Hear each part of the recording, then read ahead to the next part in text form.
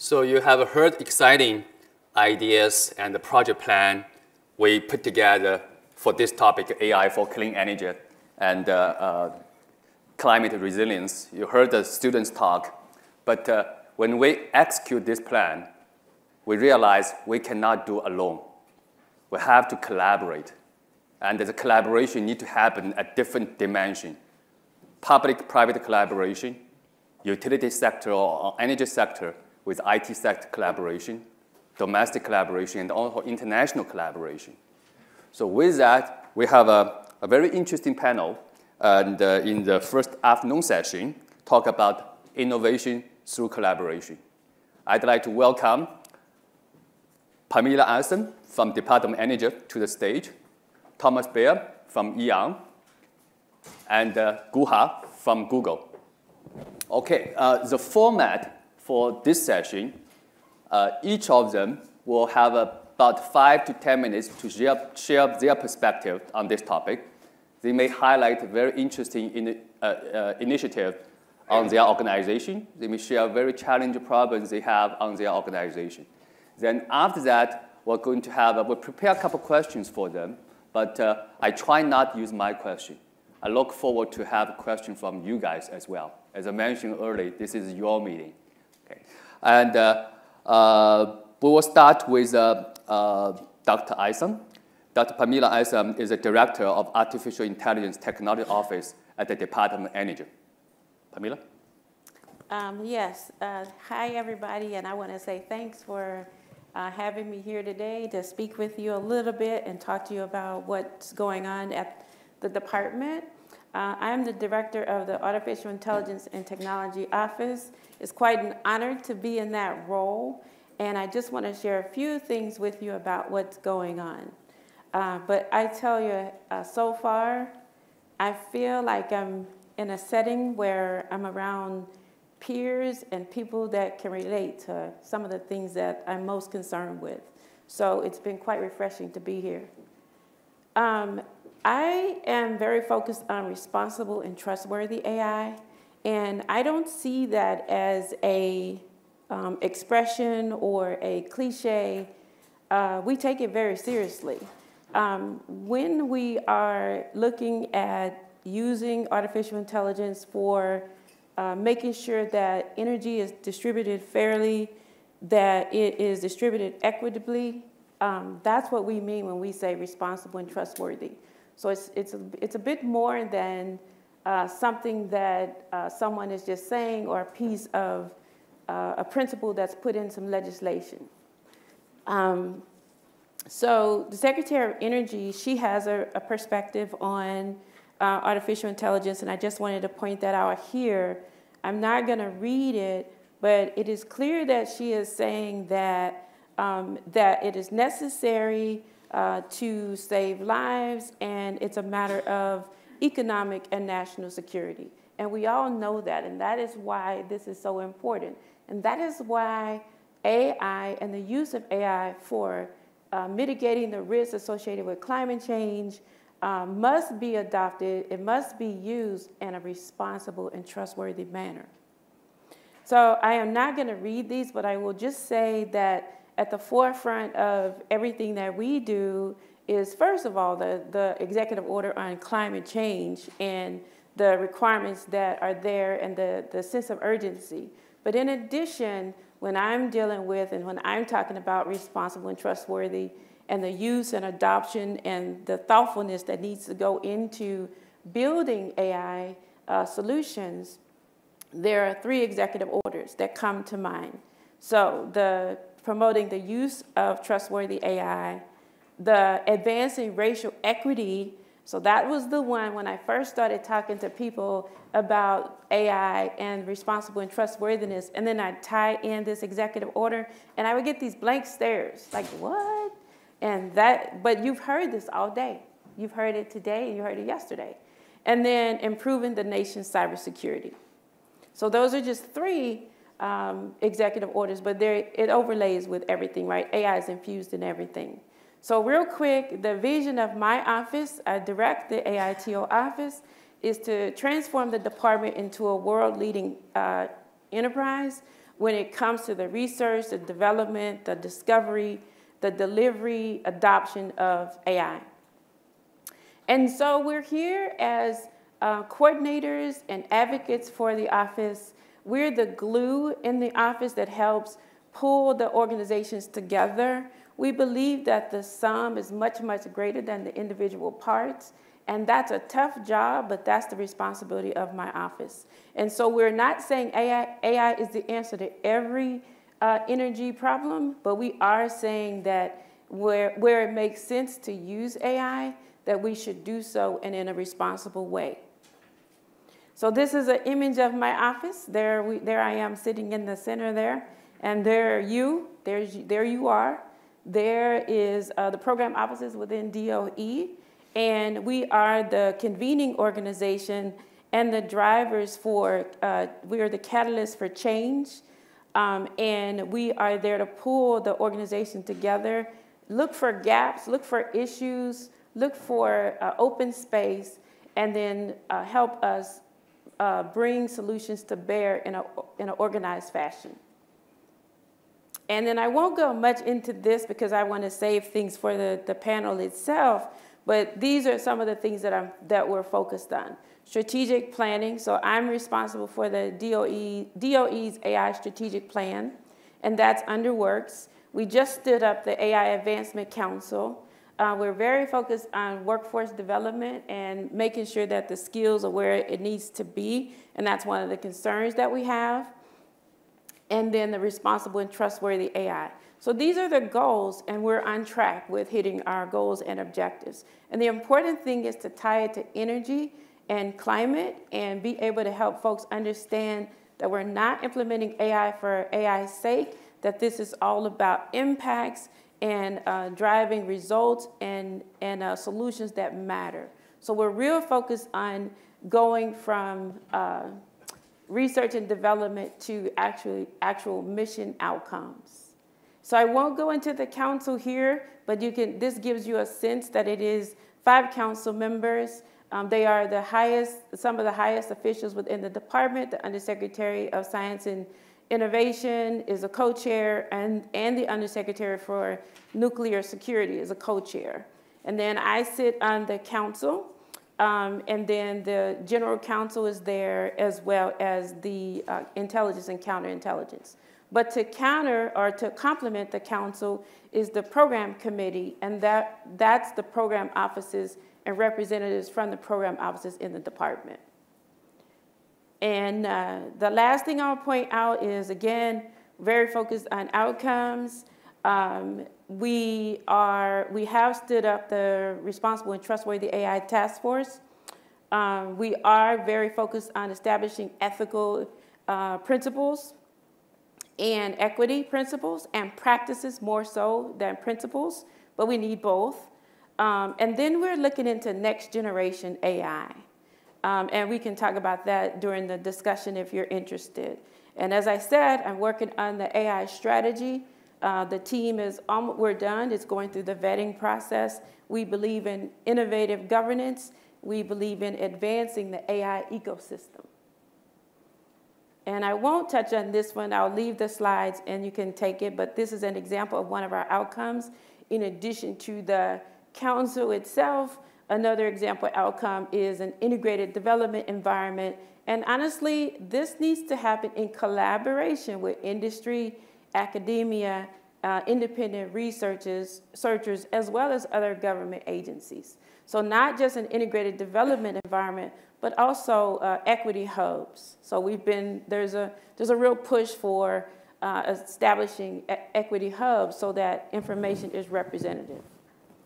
And so that led into the next slide, which is speaking to uh, distribution of solar as one of the concerns and one of the value propositions of equity and why equity in the energy transformation is so important.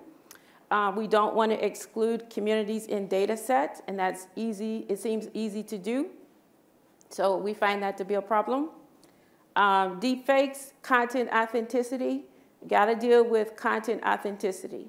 Uh, if we are going to make a change when it comes to accelerating the risks associated with climate change, um, we need content authenticity. And then balancing the science and reasoning. That's where AI comes in as well. There must be a balance. So it's a social type of technology. And that's basically what I wanted to go over. These are just examples of the energy grid, the predictive maintenance, home energy management, all examples of applied artificial intelligence to make a difference in the day and time of um, the, the uh, energy transition and the transformation. And the last thing is on my mind is what I just said. I'm very concerned about um, the, the fact that AI is underutilized when it comes to climate and grid resiliency. There's such an opportunity to do more. Um, AI for energy transformation is necessary. I think there needs to be some type of consortium to that extent. And then we need to, we need more significant data um, management uh, underway. Okay. Thank you, Pamela. And uh, just hold it. I know some of you may have questions. Let's hold the question a little bit until we finish another uh, two quick overviews. So uh, many of you, some of you were here on Monday and uh, have heard the uh, fireside conversation between Condi Rice and uh, Arun Majumdar regarding what's going on in Europe and the, the, importance of energy security issue. Now we are very glad to have Thomas Birr, is a senior VP and the Chief Innovation and the Strategy Officer from E.ON, which really give us the first-hand perspective and opinion what's happening in Germany.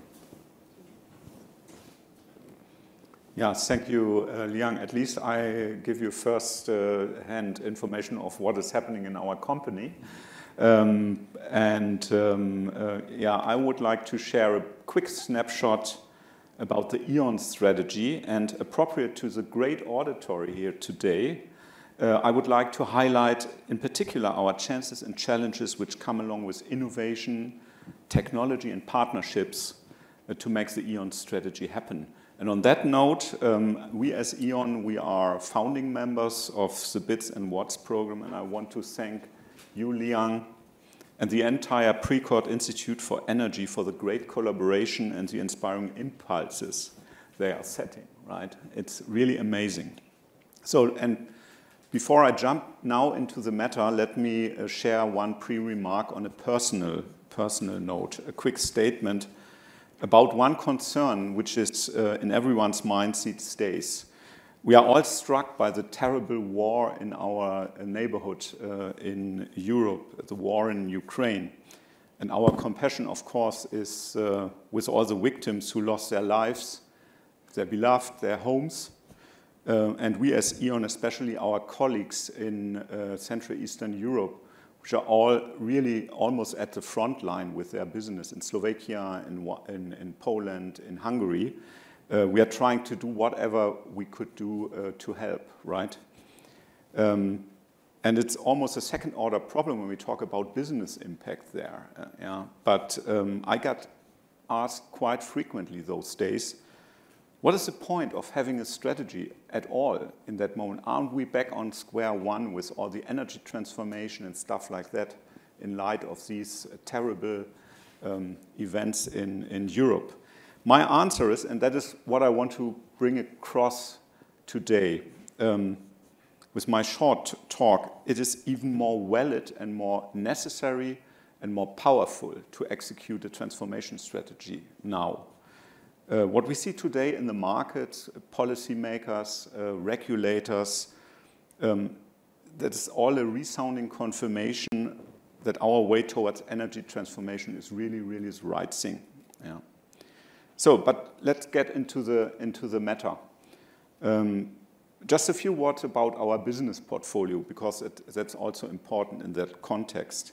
Our strong pillars in uh, energy networks and customer solutions make us one of the largest European energy service companies, straight in the middle of where energy transformation happens. Our distribution network, which is the largest in Europe, with some 1.6 kilometers of lines, is the backbone of the transformation because energy transformation happens in the distribution grid. Uh, we connect 800,000 renewable plants uh, to our networks, and this is a number which ex uh, exponentially grows literally as we speak. That is a journey which comes along with a strong move towards digitization, a necessary prerequisite for the whole transformation to happen at all. Uh, and I come back to that in a minute. Our customer solutions uh, support our 50 million customers in 15 countries in Europe uh, to become part of the transition themselves. Um, we don't own large generation assets anymore. Hence, we are a pure downstreamer in energy, and we are driven by a strong vision to bring good energy to the people and to make energy transformation happen. And that is based on, on a set of core beliefs, technological and uh, societal core beliefs, uh, as of what will happen and what needs to be done for getting to net zero in Europe uh, till 2050 at the latest. We believe in electrification of industry and society. We need to expand the renewable production on the continent as much as we can but that will still leave us uh, with almost the same amount of energy which still needs to come um, as imports to Europe, if you want so, as green electrons stored in molecules. And we will see these energy carriers converging all over the place.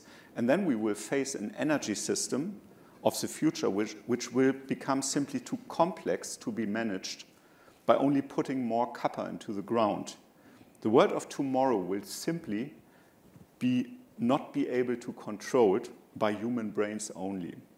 We need to radically change the way we do our business by consequent digitization and employment of emerging digital technology to the utmost extent to get to net zero while keeping the lights on.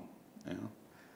So, I mean, if you forget everything I'm talking about today, uh, which I hope is not the case, uh, there are three things which could stick as the core paradigms of our strategy. First of all, it's sustainability as a value generator for business and not as a bureaucratic burden. Digitization as a true game changer uh, of our business and growth, sustainable growth driven by the sector transformation and our role therein in the first place.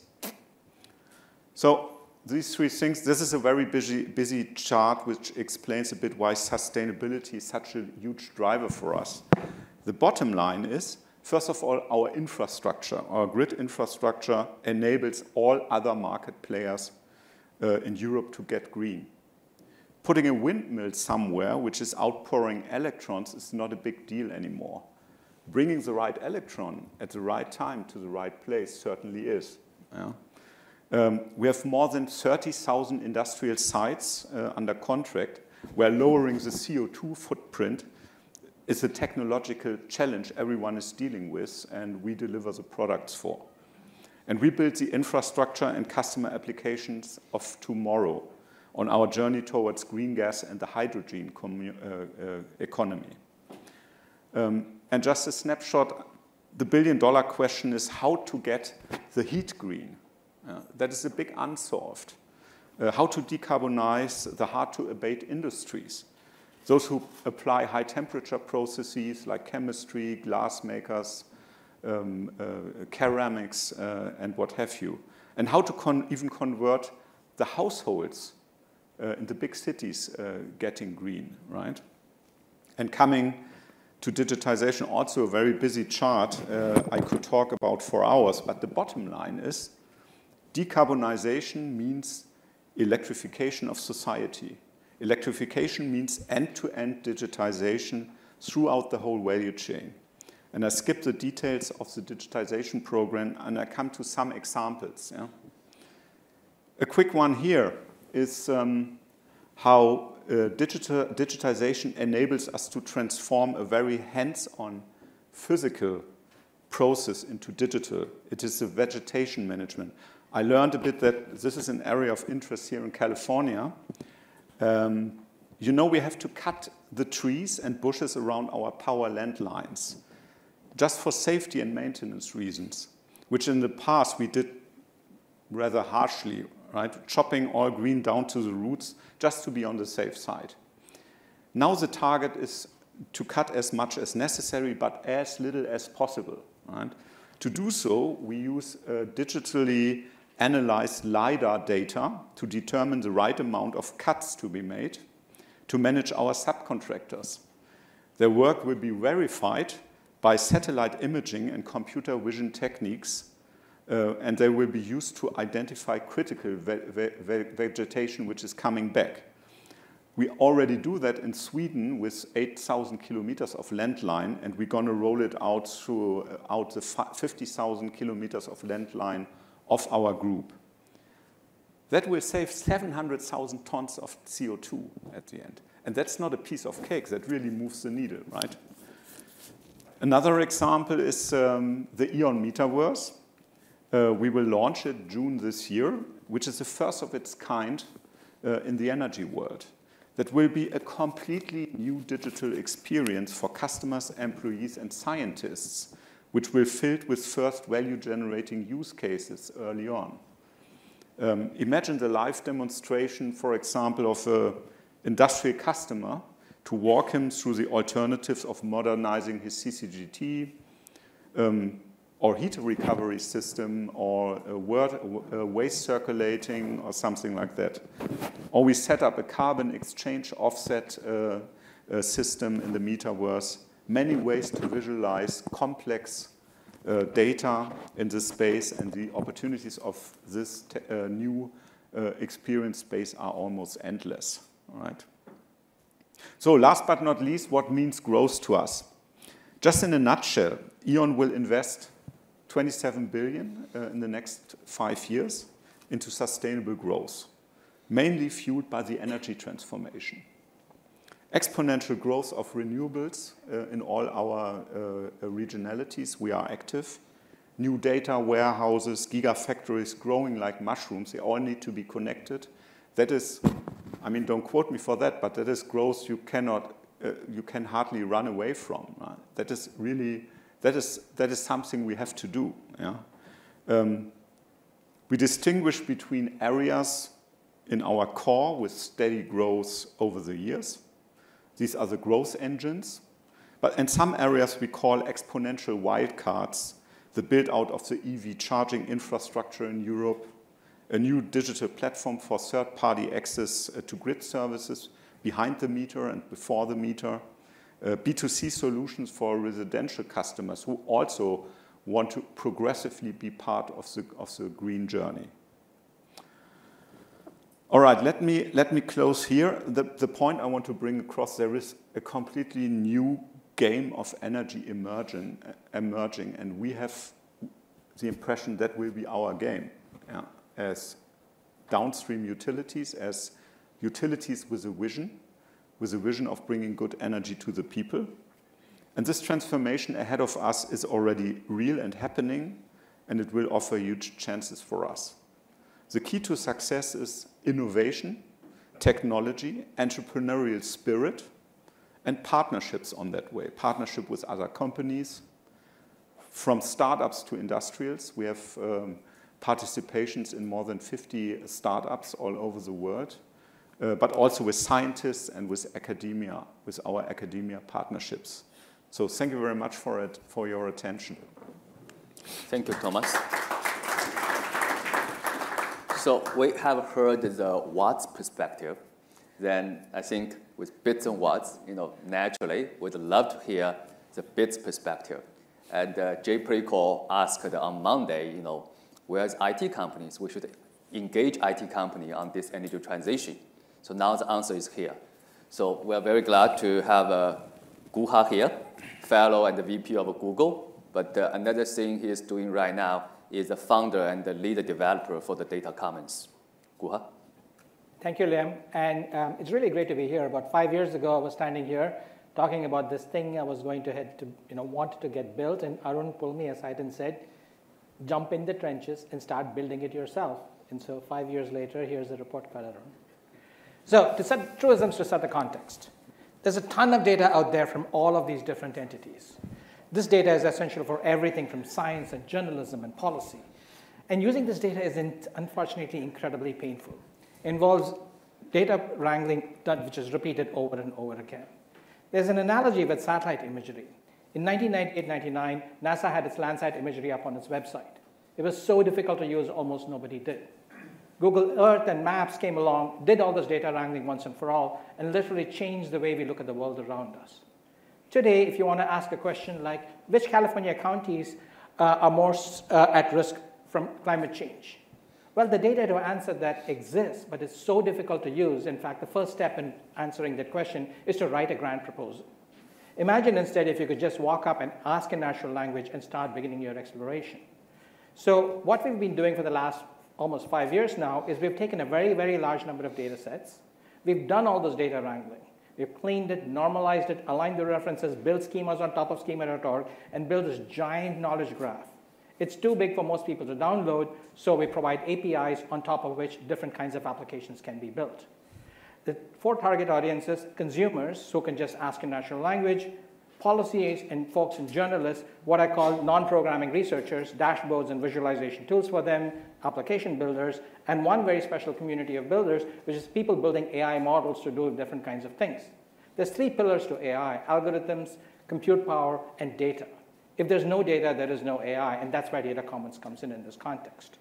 So what we've built, one is an open source um, infrastructure for creating and storing and uh, building these knowledge graphs visualizations. There's integration into Google search engine, but 90 plus percent of the work is elbow grease in terms of demographics, economics, health, climate, energy, food, crime. It, to give you an idea of the scale, it's about 3 billion time series. Uh, it's about four times the size of FRED, which is the Federal Reserve's economic database that they use to run the, the country's economic decisions you know, just some examples of the, you can go to Google's, um, Google today and type in these kinds of queries and get answers. Everything from energy use per capita in India to incredibly complicated questions like number of poor Hispanic women in Santa Clara County. A driving application for, uh, for the last two plus years has been sustainability. Um, climate change is happening. And it's not as simple as 1.5 degrees versus 2 degrees versus 2.5 degrees. Climate deltas vary widely. This is, you all the visualizations I'll be showing you today is all based on data and visualizations from datacommons.org. This is uh, um, temperatures as, as predicted by one of NASA's popular models in 2050 relative to 2006, according to RCP uh, 2.6, which is the most optimistic scenario. And you can see that even in this ultra optimistic scenario, there's going to be places in this country where the temperature goes up by more than 7 degrees centigrade. There are other places where it goes down by 4.5 degrees centigrade. To use Arun's analogy, it doesn't matter if you have your head in the oven and, the, and foot in the um, um, freezer, it, both you're in trouble. And that's what's going to happen. The other point is that there's many existing inequities. Everything from hunger and poverty and diabetes and health insurance, and the, the, the list goes on. And climate change will worsen these inequities. And we have to prepare. And in order to prepare, we have to know who is going to be most affected 10, 20, 30 years from now. And in order to figure out who's going to be most affected, we need data not just about the climate, but data about food, health, farming, water, employment, and so much more. These are very messy data ecosystems. Just at the US federal level, the data about this data is distributed across so many different agencies. Data Commons' mission is to organize this data and make it universally accessible, which you might notice is Google's mission. And because this is so important, Google is doing this in an open fashion. Not only is the data open, the software stack is open, the entire process is open. And so that everybody can participate. Everything we do is on GitHub. You can download our code, you can download the data. And we do expect there'll be you know, companies and others who build applications for profit on top of this. But this is so much elbow grease, it's kind of pointless to do it over and over again. So we should just do it once and make it available everywhere. Um, many, many, many topics have already been covered, everything from all of these topics and many, many more, and they're coming in at an, in, at an ever increasing rate. But to give you an idea of the kind of stuff we can do, let me just walk you through a few examples. Um, we all know that with heat, uh, cardiac conditions become worse. This is one of our visualizations. Each dot here is a US county, and the x-axis is went up. Uh, so the x-axis is the expected temperature rise, the y-axis is prevalence of cardiac conditions. What's interesting are the places, the counties to the top and right. If you look right at the top there, there are counties in South Dakota, there are counties in New Mexico, and so on. which have a high incidence of cardiac this thing, which are going to become much worse. And unfortunately, if you drill down, you'll realize that so many of these count, counties are where um, Native American um, reservations are. In many ways, what we need, uh, during the pandemic, we relied heavily on uh, the dashboards from Johns Hopkins to figure out what was going on. For the next 10, 20 years, we need dashboards like that, except a thousand times more sophisticated, thousand times more complicated, not just dashboards, platforms that we can run our code, our models, or analysis on. And this is exactly what we're building. This is you know, irrigated land versus projected temperatures to tell you what kind of places we can have most kind of uh, effect. This is, and of course, uh, you know, we collaborate a lot, and our first and most favorite collaborator, especially now that we're here, is Arun. And uh, this is IPCC temperature, uh, this is the wet bulb temperatures, and uh, it's kind of one of these places, times where I wish we were wrong, and um, uh, India actually hit those temperatures uh, last week. Um, not good. Um, there's one last important point, which is the model is not one data commons, one ring to bind them all. It's much more like websites. We have many different websites. And all these different websites share a common schema, which is HTML, and a common API, which is HTTP. Some websites are behind firewalls, some behind paywalls, some are open, but they're all, you don't switch your browser when you go from your intranet to the public web. And your intranet can link to the public web. The same model over here, which is that you can have these private or other data commons, and the analog of linking is joining.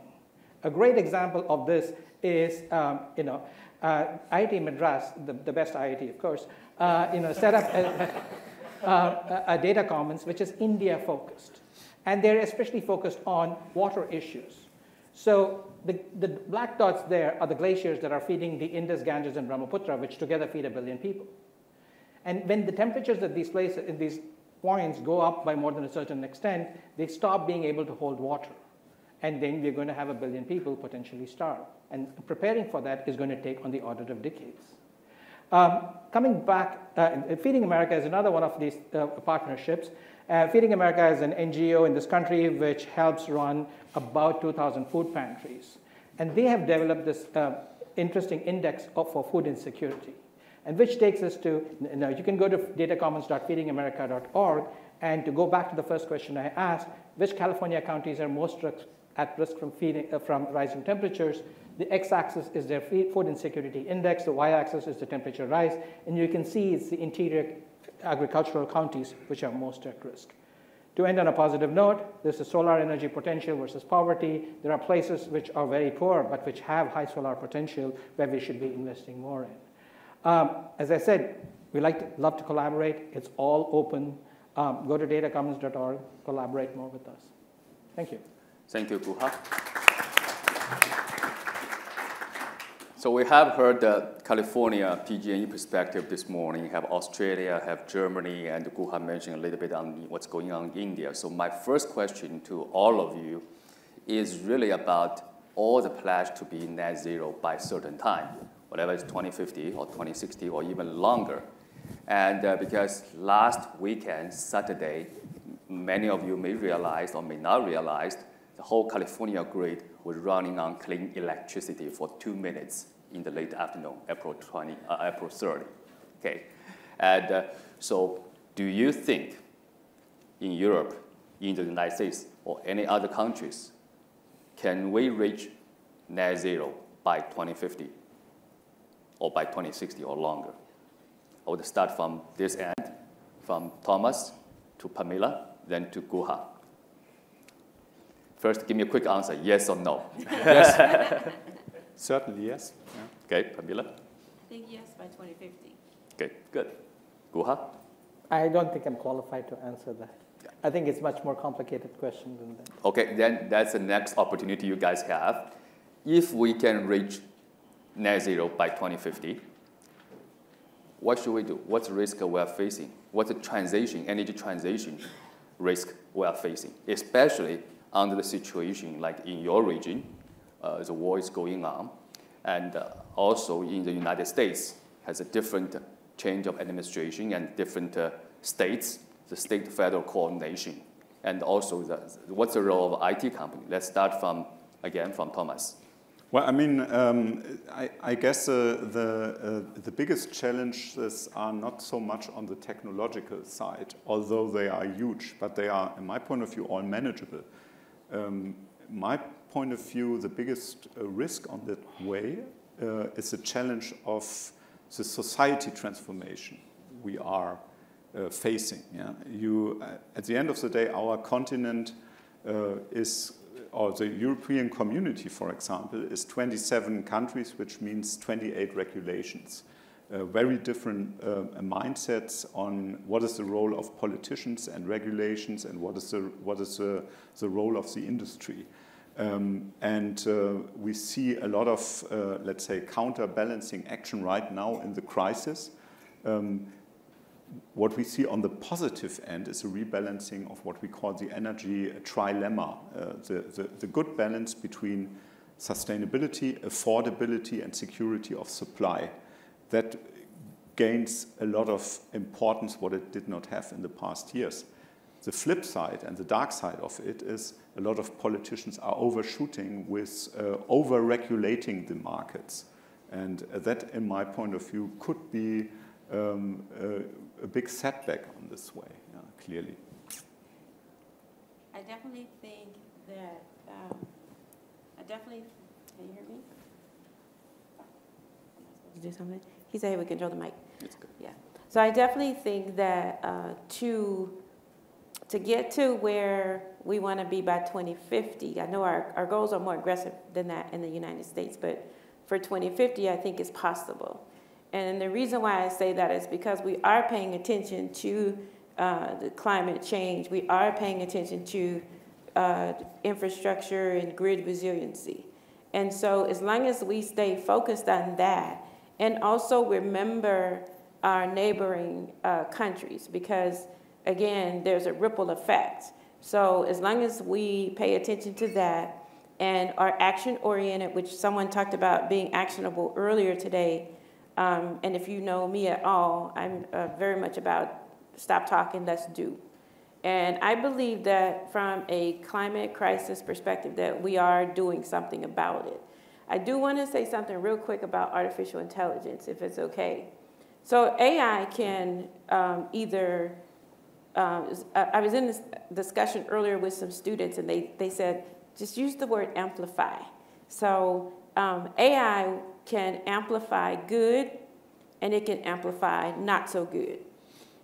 As long as we are paying attention like we are now, um, AI, we're, we're looking at how we can use AI to better um, solutions to address climate change, to address grid resiliency, to look at how we can um, accelerate and process the magnitudes of data and the different data types. And as I said earlier, I don't think that's the sole answer, but I do think that it's an instrumental part of mitigating the risk of climate change. We have to know, and I think we're, we can do more of this, but I do believe by 2050 we're, we're going to be there. We have to be able to anticipate crises before they occur. And they don't always have to be crises that have already occurred because that's past data and that's old. So we're going to have to be able to anticipate that that we don't know. And that is what the that is what happened with that is what's happening in some of the communities and some of the crises that we've had. We didn't know how to deal with it because we weren't prepared. So we're going to have to prepare ourselves, and AI can help us with that. So the artificial intelligence and simulated data, as well as real data, based on historical experiences, can help us with that. And the last thing I'll say is your links. So if there's a chain, there's links in the chain. And all of those links is what makes the chain a chain.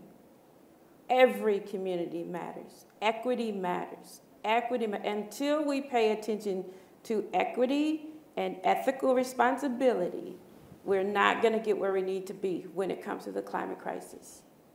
But I think we're working at it, and I think it's possible. Guha, you want to add your perspective? Or you want another question from me? Yeah, different question. Very good. So that's a question for you to continue what Pamela said. Okay, I think you guys would love the, the AI question more than Yeah, sure. Let, let me answer that question, which yeah, I think she answered, which is what are some of the near-term things that AI can do? Yeah. Uh, and I'm going to go incredibly specific. Um, there's a lot of problems which are um, have essentially computationally unsolvable. Um, everything from you know um, grid optimi- uh, OPF and mm-hmm. to uh, you know actually solving Navier-Stokes and all of these kinds of things. I'm really excited by more uh, recent solutions which don't try to actually solve the problem but use uh, various deep neural network techniques to get somewhere in the neighborhood of a solution. Uh, and you go from, you know, you, like, I forget the name of the student who showed four orders of magnitude improvement, right? Uh, that actually gives us the opportunity to do uh, that together with sensing technology and so on and so forth can change the name of the game in many, many, many different dimensions. That's absolutely huge. Um, and we're going to need to bring that in to reduce. So we look at the, in order to go net zero, we have to be able to reduce the cost of producing a calorie of food? And that's not going to happen the way we are doing it right now. If anything, the cost of a calorie, energy cost of a calorie is going up as the consumption of beef is going up. How do we address those kinds of issues? Yeah. Um, in material science, there's long-standing problems which you know many people, including people in Aaron's lab, are making some progress. Uh, essentially, doing a, diff- a, variant of using deep neural networks to investigate incredibly large search spaces. Um, so it's it's positive, and and you know I don't know enough about those material science or food stuff, but the one place we can help is in many many many of these projects grad students spend 70, 80% of their time bringing together the data set, cleaning it up, doing it over and over and over again. If they could instead operate um, on a common platform, so that um, one of my favorite examples on this is what's the relationship between poverty and, and unemployment and hypertension and obesity? Well, that would be on the order of a term project kind of size project given that the data comes from four, three or four different federal organizations and so on. Once the, you can assume, you can open a Python notebook anywhere and assume the data just exists with a common API. It's now being done in Berkeley in under an hour by 400 plus students for grade. And if you can br bring that level of advancement and that level of speed, essentially if you can empower every student out there to do things four times, uh, sorry, four orders of magnitude faster, interesting things are going to happen. Okay. I, uh, before I let you go, follow-on question. Let's ask from your side to Thomas. Is really, what's your view of the level of adoption in the power and energy sector? I pretty much know the answer, but I would like to hear you again. You know, what, what's your view? Because you've been dealing with an, a many industry. You're dealing with healthcare, dealing with uh, you know social network, consumer uh, behavior, etc. What's your view, Guha? the level of adoption of AI in the power and energy sector. We'll start from you, then we'll to Pamela and Thomas. Let's use Again, this way, elementary I, school, not, high school, or uni university level. I, am not qualified enough to answer that. But my, based on my conversations with Ram, um, Rajagopal, and Arun, uh, there is, let's say, room for improvement. Same.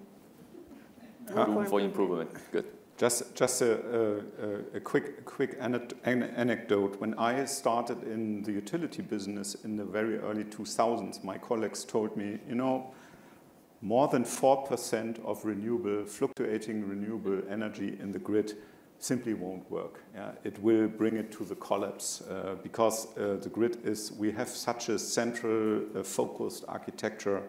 It will, uh, let's say, uh, create some swings and the whole system collapsed. I mean, we have uh, hours and days in, in, in, northwestern Germany uh, where, uh, let's say, over hours, uh, the whole system is supplied by renewable energy only in the meanwhile.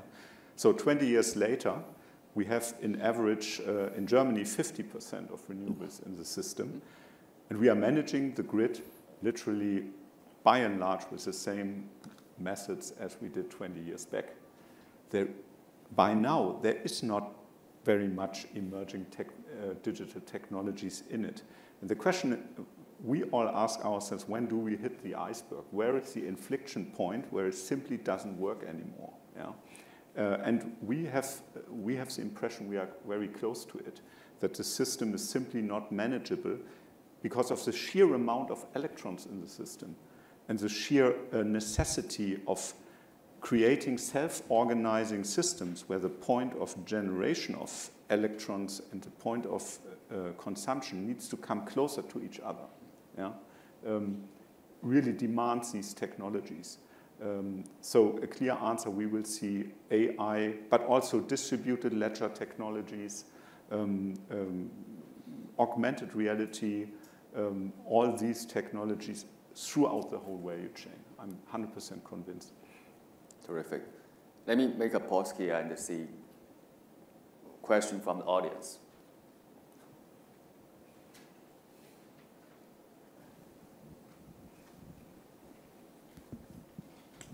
So, Guha, as you were describing the data commons, I was just smiling and thinking, "Ooh, new toy," sort, sort, sort of thing. But with such uh, um, incredible information, indeed, to guide decision making and address new questions, um, in particular related to sustainability issues.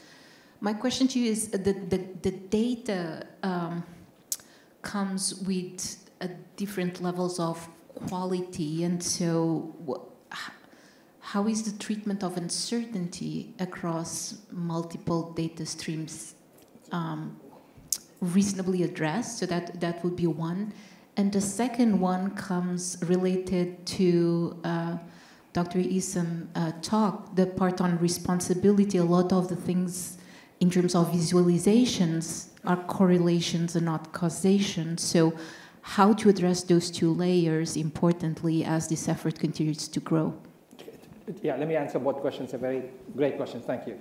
Um, the first one is you have data from you know everything from the U.S. Census to some state in in, in India, and there's often so what the uh, short answer is a we maintain the provenance of every single data point all the way down to the code that was used to clean the original data source all the way down to the original files that it came from so that you have transparency.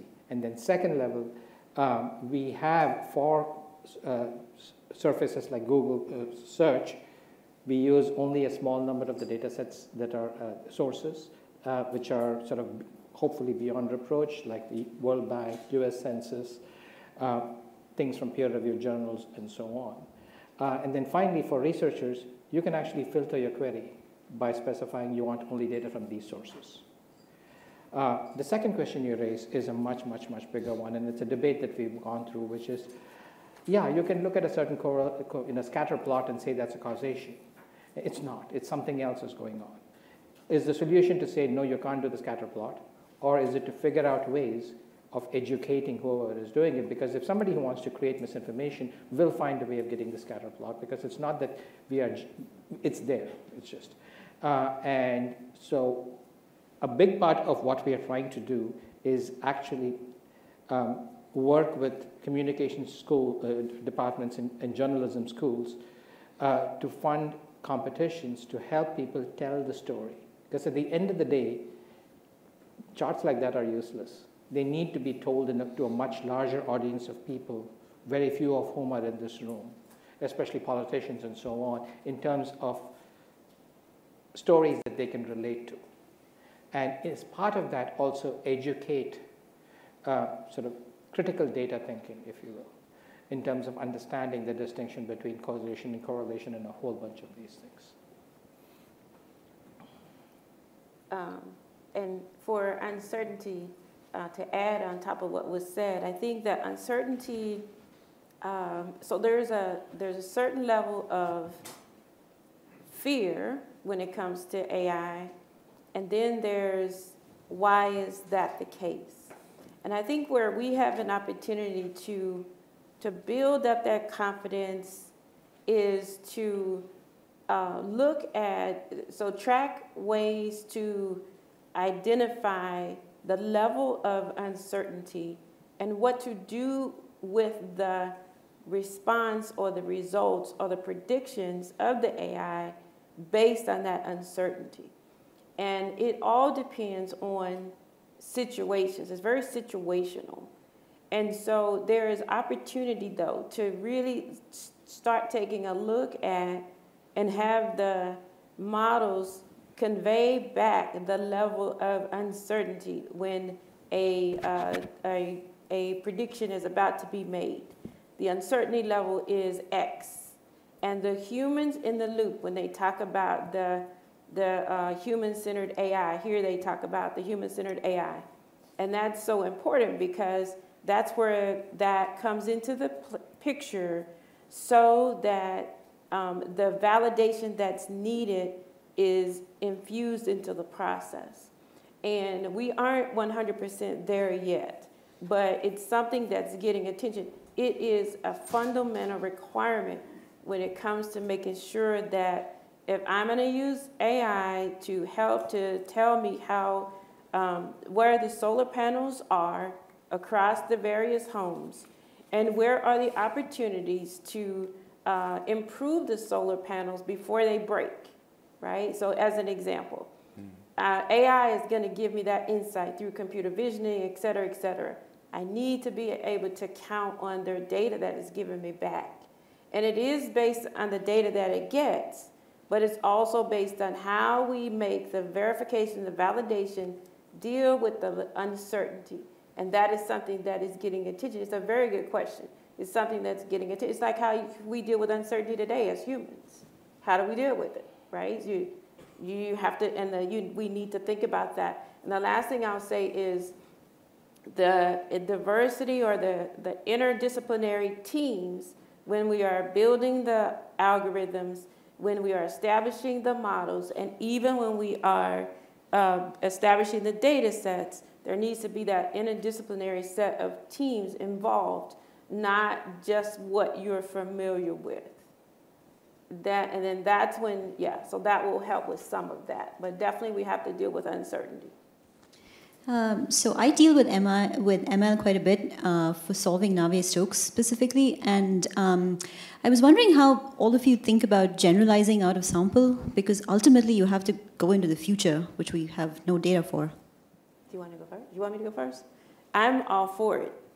I'm all for um, moving out I'm, I'm mixed. So there's the machine learning element, and then there's the more generalized, is where I think you're going to, and where there's not that much human in the loop. But I don't think we're ready yet. But I do think that uh, that uh, this is this is where we are going, and I'm in favor of it. So, mm, yeah, great question. I don't think uh, the community has an answer for it yet. It's just early stages of papers. Look, I got an interesting result. I got yeah. an interesting result. Like, uh, why? How? Just... Or how? Yeah, I, I, I uh, fully agree with, uh, with you both. What I want to add uh, to that question is it has a, a social and even a regional component in it. Yeah? Um, uh, as I said, we are doing business in 15, uh, 15 countries, from uh, Sweden in the north to Italy in the south, from UK to Turkey. And the way people approach technology, technological progress, uh, uh, data security is it differs widely. Yeah? Uh, I mean, as an example, in Sweden we are rolling out a second generation of smart meters already. In Germany we have not even started, only due to, a, a, let's say, an, an almost irrational fear of data fraud. Uh, and uh, I mean, we take uh, data security very seriously, but uh, it, is, it is absolutely bizarre, right? Um, the, the, the, German way of reading meters is still uh, someone goes in the basement, takes a card, writes down the meter, and, and, and, sends it to the utility, mixes up the gas meter with a power meter, big headache. Yeah? Um, and and um, it differs between big cities, between countryside, and so on. Um, I, I, guess our answer is we have to find positive showcases for it. We have to, uh, to, to, to take a first move here and there, even on our own expenses, and, and say, look, this is the area where we try to employ all what is possible today and have a look and feel and, and, and see how it works. We have to, we have to um, create these positive uh, showcases to convince people at the end of the day. there's one point, however, I'm sorry, I'm diving back into the weeds over here. Um, if you look at the different climate models, right? It's just like IPCC, CMIP 6 has like 80 models or something like that. They vary across, the range of predictions is so large, it's like 6 degrees centigrade across. And you look at them and you say, wait, you're just ignoring cloud cover and you're placing such a huge weight on cloud cover because that's all unknown.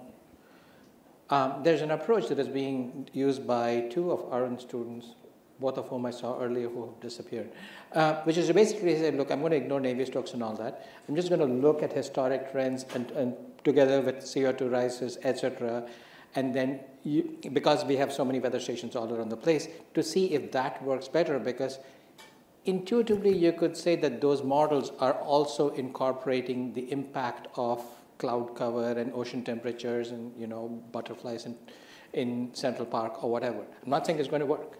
It is an interesting thing, uh, alternative approach to, and it's, it's at the end of the day, it's like things like Navier-Stokes and all of these things are sort of analytic solutions that are based on causal models of the universe. And then you have machine learning, which is basically curve fitting, very high number of dimensions. And, and I don't know which. I like, actually, I'd like to, like to hear your thoughts on this topic. Okay, great. this is a giant setup for your talk. Wonderful. That's a question she prepared for herself. So, okay, we have about a couple minutes to go. Let me ask uh, uh, one easy question for all of you. What's the role of a university like Stanford? And have you heard, you heard from Steve Graham and uh, Ian and Arun this morning, the plan for the new school, we, we, we will have a kind of data-centric uh, to help to coordinate all the data related to sustainability and the climate change, etc. How, we, how can we work with you? We need some guidance. We can start from Thomas, from industry, then to the public, federal perspective, then to the IT side. So there is a, a, very strong symbiotic relationship between academia and industry, at least in our industry. So we are, uh, energy industry is not a particularly R&T uh, heavy uh, part of the business. We are not the people like uh, the uh, chem chemistry or pharmacy who uh, put 10, 15% of their turnover into R&T. traditionally, a lot of R&T happens at our sub-suppliers or in cooperation with partners, with uh, universities. And for us, uh, let's say, uh, cooperation with universities was always a, a, large provider of impulses and a path maker for progress in, in our industry. Yeah, I cannot agree more. Um, I would like to see more collaboration. So um, this is a great uh, forum. This is a great way to talk about things and explore what others are doing. And then together we should start coming up with solutions together with industry, with academia, um, with the federal government, with the state. Let's look at how we uh, come together, maybe do a energy transformation consortium, as I've been mentioning before, or something like that. But let's, or even a, I, I like the data common, commons, right? So let's come up with some common taxonomies and solve some problems together so that when we're solving those problems, they automatically scale because look at the amount of people involved, right? And so significant impacts together so that we all weigh in and buy in on the outcomes. Good. Guha? So I'd first like to object to your phrase there, universities like Stanford. There's only one, and Stanford has redefined the way so many different things happen. No, seriously, look at, there's somewhere around here is a photograph of, of uh, Terman. Terman came up with the concept of a, a stock option mm-hmm. that has had such a profound impact on everything. Um, every so many different things, right? And we have, and Stanford is interesting, unlike some of these other universities on the East Coast. Stanford, the nature of Stanford has changed so much over the last, even the last. I mean, I went here 30 years ago. Even the last 30 years, it is completely different in its character. So we have no idea what all challenges are going to come ahead of us in the next 10, 20, 30 years. Stanford was one of the first to create this new school, right? I think Stanford can define its own kind of, can, can redefine what the role of a university is in this context. So. Great, I, I love your answer. So let me summarize what we learned.